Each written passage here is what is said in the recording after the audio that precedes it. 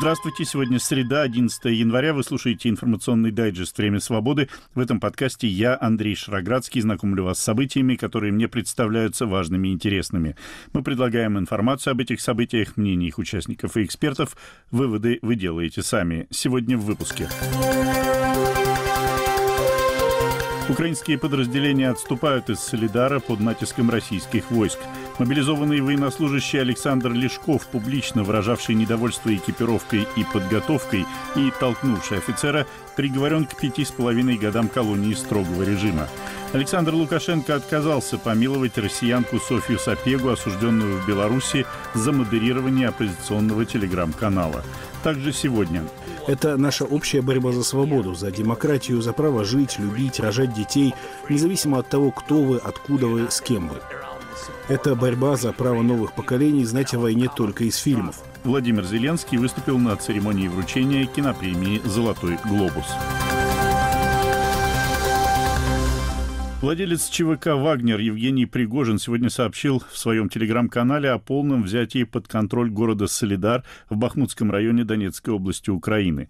Пригожин при этом признал, что в центре города продолжаются уличные столкновения с попавшими, по его словам, в окружение украинскими военными, а также особо подчеркнул, что в боях за Солидар участвовали исключительно бойцы его частной военной компании. Вот что сказал Пригожин.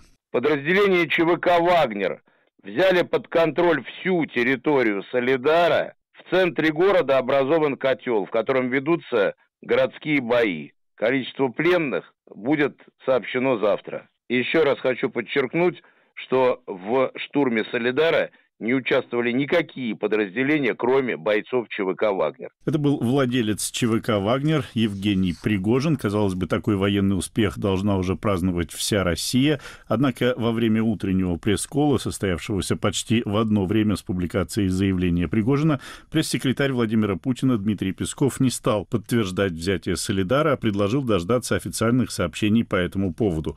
Вот что он сказал. Ну, подождите, давайте не будем спешить. Дождемся все-таки официальных заявлений. Там есть э, положительная динамика в продвижении. Успех в военных действиях будет достигнут, когда мы выполним цели, которые поставлены Верховным Главнокомандующим в ходе специальной военной операции. Хотя тактические успехи, безусловно, тоже очень важны. Очень важны, они достаются достаточно дорогой ценой, ценой фантастического героизма наших бойцов. Поэтому это еще один повод для нашей гордости за тех наших ребят, которые на месте не жалеют ни своей жизни, ни своего здоровья для того, чтобы эти тактические успехи нам дарить говорил пресс-секретарь Кремля Дмитрий Песков. Ветеран украинского батальона «Айдар» Евгений Дикий, который поддерживает связь с боевыми товарищами, воюющими сейчас в Солидаре и Бахмуте, признает, что положение украинских войск в Солидаре очень тяжелое, но, по его словам, по состоянию на вечер вторника они контролировали четверть территории города. Евгений Дикий говорит, что еще несколько дней назад планировался отход из Солидара подразделений ВСУ ради выравнивания линии фронта, но бои за город продолжаются не только исходя из тактических военных, но и из политических соображений. Дело в том, что сейчас в Солидаре воюют несколько моих э, бывших товарищей по батальону Айдара с 2014 года. Время от времени удается с ними связаться, хотя, конечно, ну, не в онлайн-режиме все время. И, я же говорю, по состоянию на вчерашний вечер ситуация была очень тяжелая. Примерно три четверти города контролировалась оккупантами, вот, но примерно четверть города еще оставалась в руках наших защитников. И в свете того, насколько медленно вообще происходят любые продвижения именно при уличных боях, когда бой идет за каждый отдельный дом, иногда даже за каждый отдельный э, подъезд, ну, вероятность того, что за несколько часов полностью Солидар уже перешел из рук в руки, ну, по-моему, близка к нулю.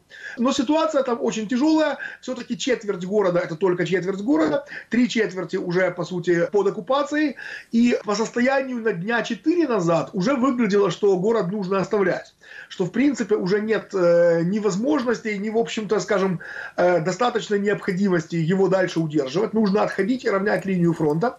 Но дальше, видимо, наверху было принято решение еще там продержаться, потому что за последние три дня туда переброшено ряд, скажем, свежих резервов, э, ряд свежих частей. И поэтому городские бои явно затянулись. Приказа по выступлении пока не было, наоборот. Стоянию на дня 3-4 назад уже даже сворачивали опорные пункты, готовились организованно выходить. Но потом, наоборот, пошел приказ приказ держаться и э, пошли подкрепления. Что касается логики Генштаба, тут я уже могу только предполагать, потому что то есть инсайдов в Генштабе у меня как бы нету. Тут можно уже только строить предположения, вот хочу сразу это оговориться, но скорее всего речь идет о э, логике и о принятии решений э, не военной, а политической. Ну, кроме того, с военной точки зрения, сам по себе солидар, точнее то, что от него осталось, точно ценности не представляет.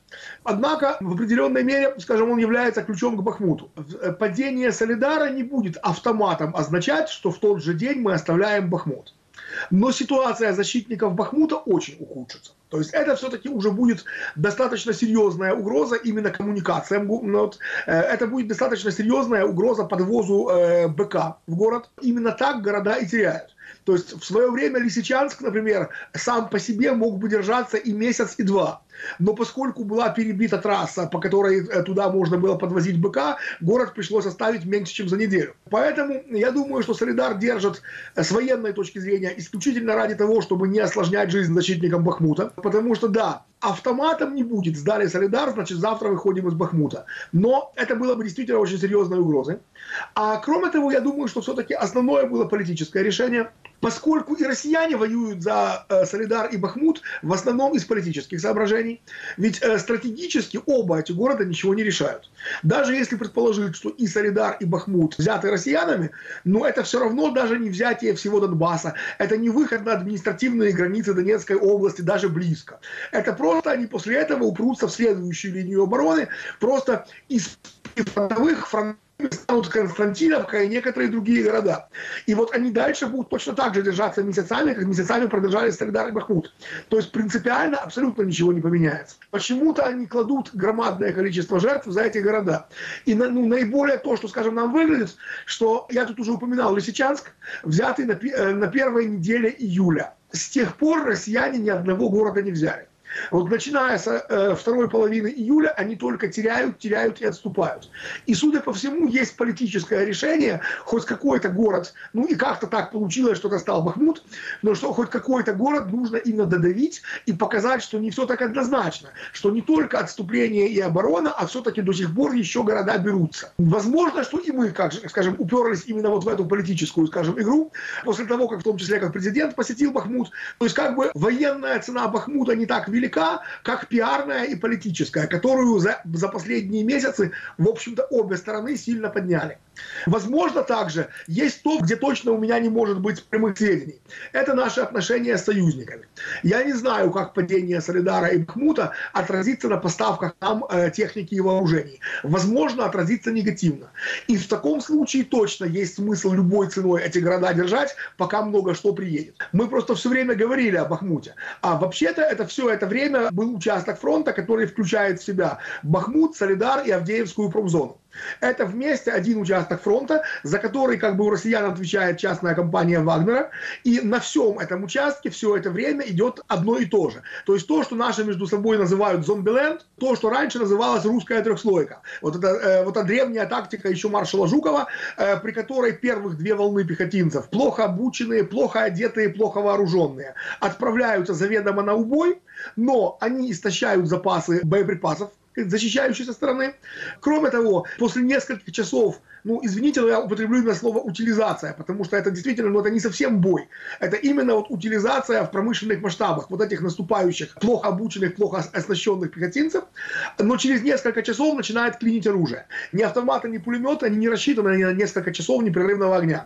Вот, но я же говорю, и БК заканчивается. И вот тогда третьей, а иногда и четвертой волной подходят действительно серьезные бойцы. Вот те вагнеровцы, которые не набраны по зонам, а которые именно профессиональные наемники, много лет до этого работавшие в Африке и в Азии, у которых война это профессия. Наши ребята, защитники, вот между собой вот эту первую категорию называют зомби или там зомбаки, вот, а вторую категорию дяди.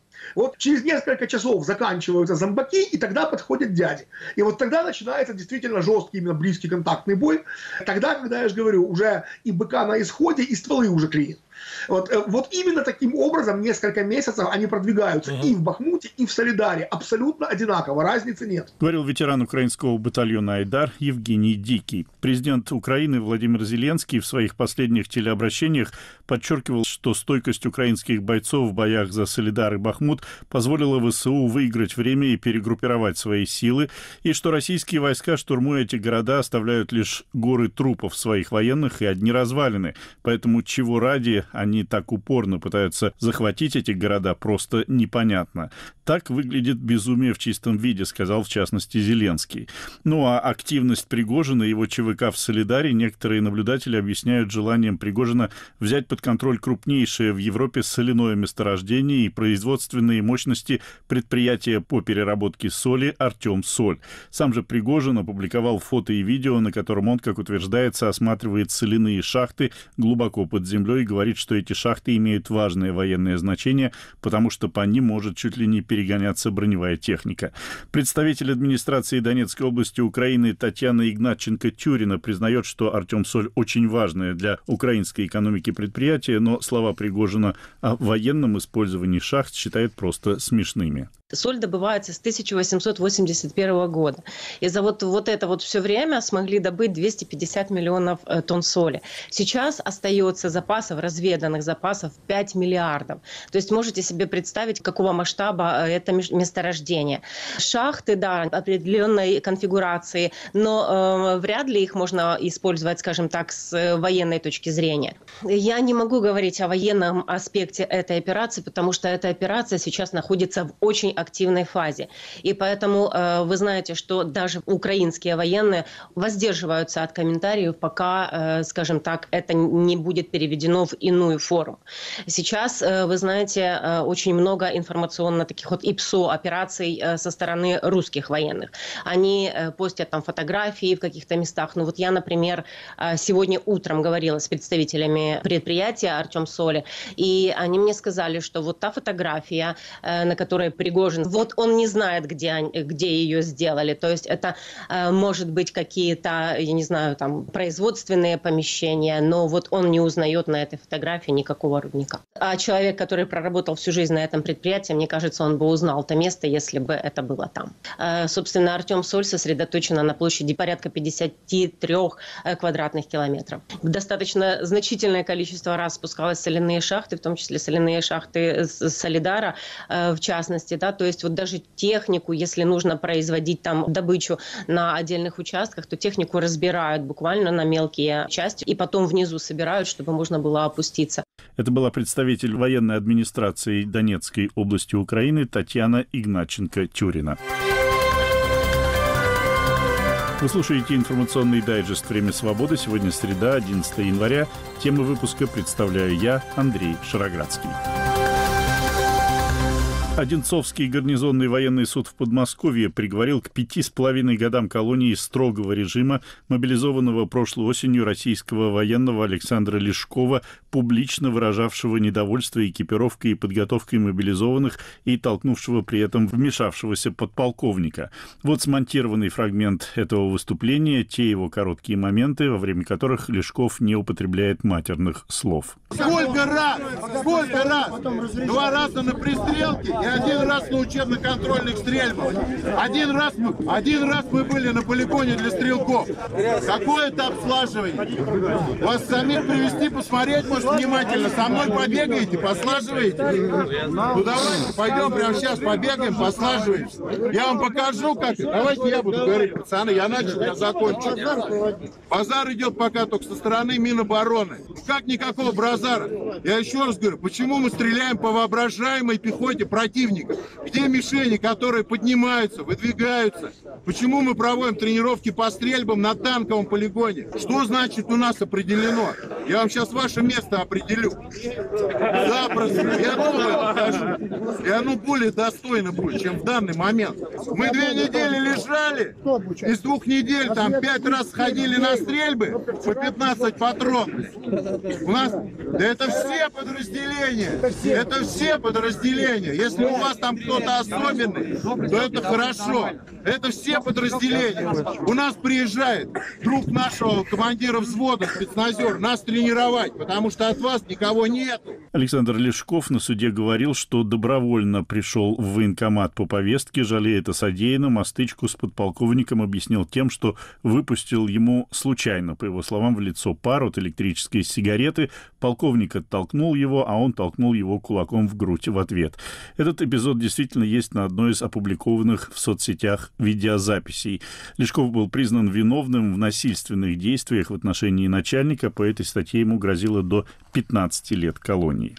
Ну а белорусский лидер Александр Лукашенко отказался помиловать гражданку России Софью Сапегу, приговоренную к шести годам колонии за модерирование оппозиционного телеграм-канала. Сапега была задержана 23 мая 2021 года вместе со своим бойфрендом, бывшим главным редактором белорусского оппозиционного телеграм-канала Романом Протасевичем. Самолет, в котором они летели из Афин в Вильнюс, был принудительно посажен в Минске из-за ложного сообщения об угрозе взрыва на борту.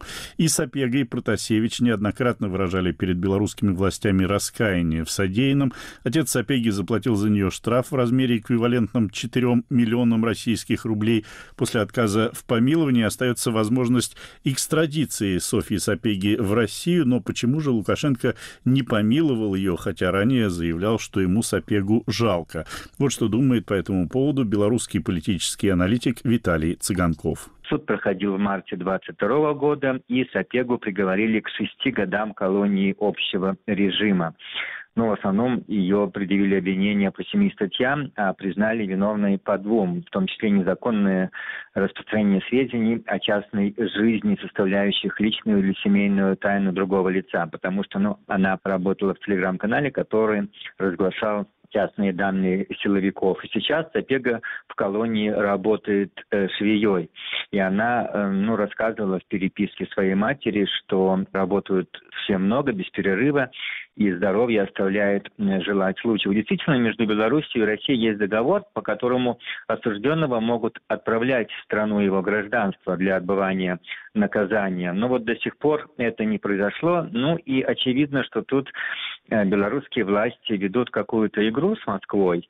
Можно сказать, что Сапега тут является каким-то политическим товаром, и пока, видимо, Лукашенко э, посчитал, что не пришло время делать такой подарок России, но с другой стороны, можно сказать об общей атмосфере Беларуси, когда, э, например, даже те люди, которые каются, ну или под воздействием, или действительно чистосердечно, это абсолютно не освобождает от какой-то ответственности и не вызывает помилования. Недавно в Беларуси такой показательный случай описала пресса.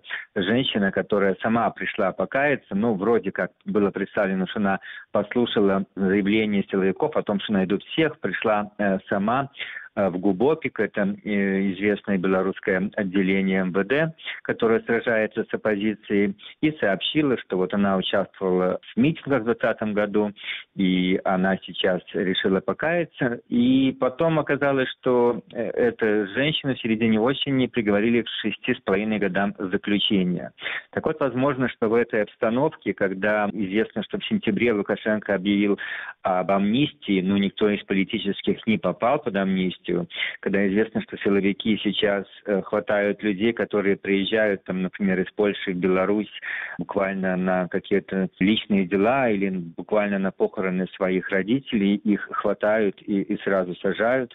Поэтому в такой атмосфере, видимо, возможно, Лукашенко не желает э, помиловать даже такую известную фигуру, как россиянка Софья Сапега, чтобы не давать какой-то, ну, знак силовикам, что он вроде как проявляет мякоть. К тому же стоит сказать, что это самый известный случай, но тем не менее правозащитники сообщают э, о том, что довольно много, десятки россиян сидят за события августа-сентября 2020 года, когда они участвовали ну, в народной революции в Беларуси. И эти случаи гораздо менее известны, но неизвестно было, чтобы кого-то из этих россиян отправили в Россию отсиживать там или помилование. Тут в этом смысле пока э, белорусские нынешние власти не проявляют гражданам России какого-то особенного снисходительного отношения. Отказ Александра Лукашенко помиловать россиянку Софью Сапегу комментировал белорусский политический аналитик Виталий Цыганков.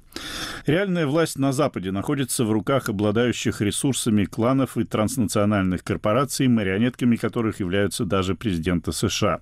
Транснациональные корпорации нервируют мировоззренческое и идейное расхождение России со странами, находящимися под контролем западного капитала. Корпорации нацелены на обогащение и развитие общества потребления. Россия же отстаивает разумное соотношение духовно-нравственных ценностей и социально-экономического развития. События на Украине — это не столкновение между Москвой и Киевом, это военное противостояние НАТО, а прежде всего США и Англии, с Россией. Неонацистские преступники, которые бесчинствуют в последние годы на Украине, неотвратимо понесут наказание. Однако не исключено, что наиболее одиозных попытаются спасти их кураторы с целью использования в других странах, в том числе для организации государственных переворотов и выполнения диверсионных задач. Это все цитаты из интервью, опубликованного в газете «Аргументы и факты».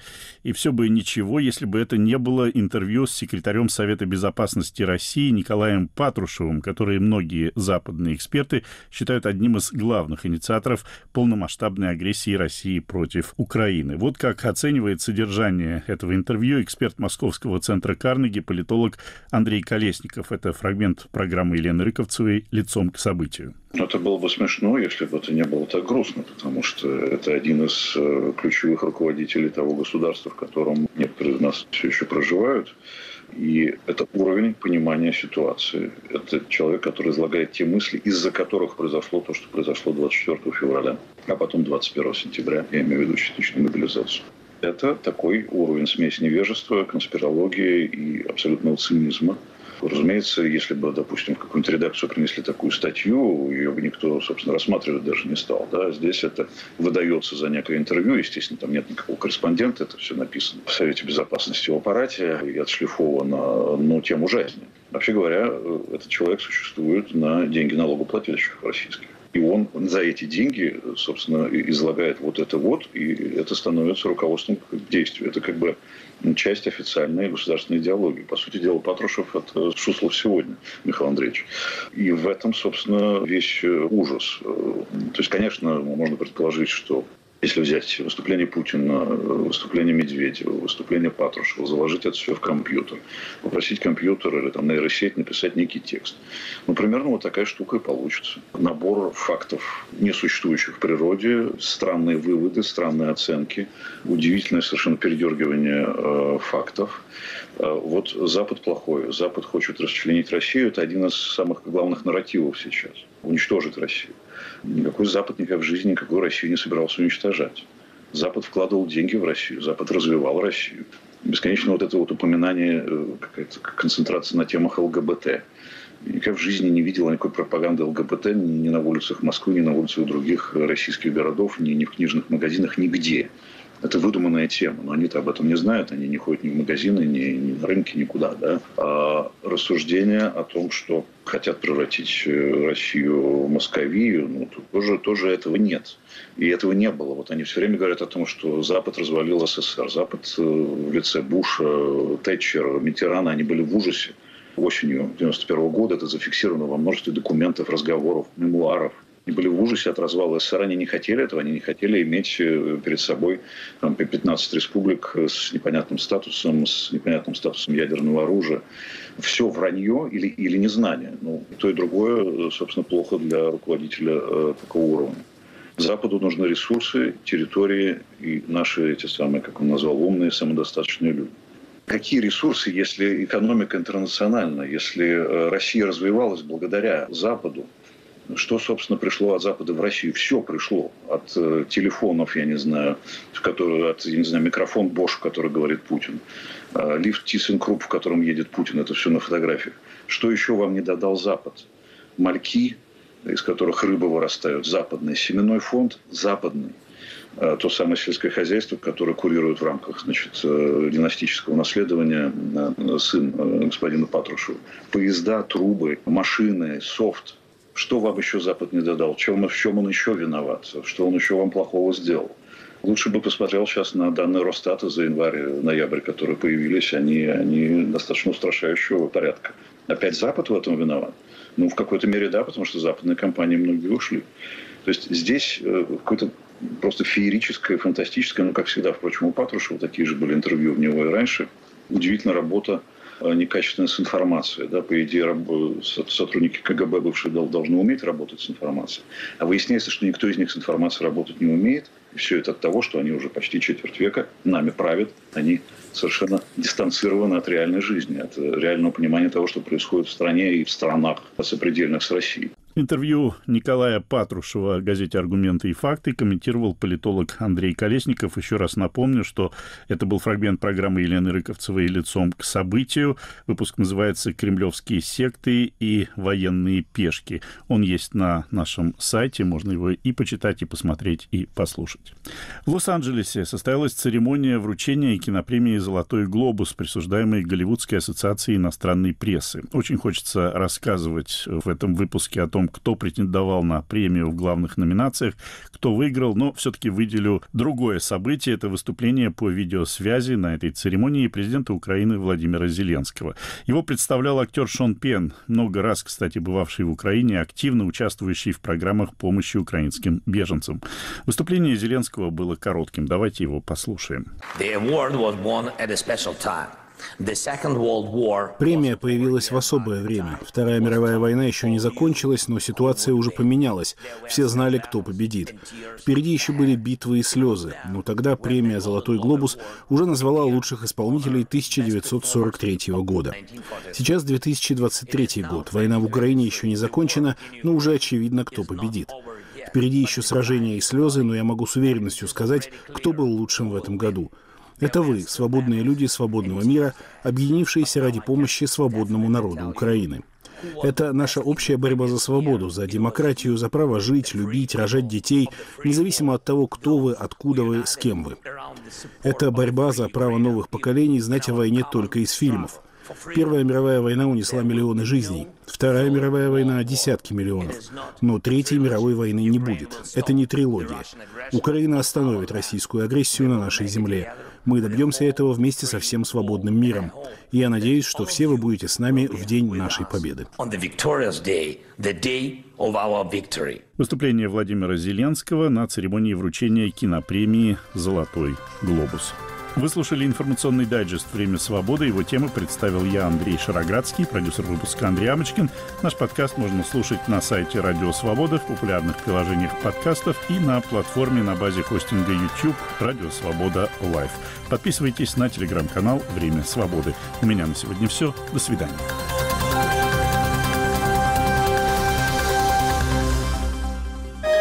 Студия подкастов «Радио Свобода».